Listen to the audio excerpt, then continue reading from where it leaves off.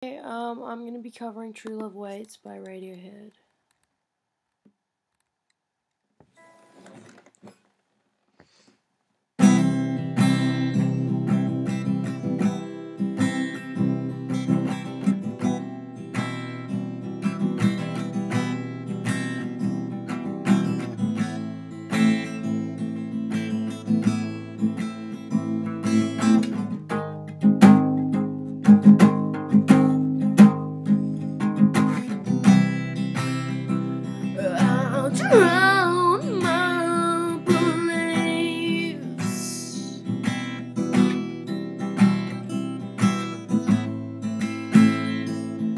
Have your good